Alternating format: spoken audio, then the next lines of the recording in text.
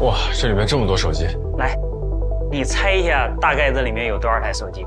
这得有三百或四百吧。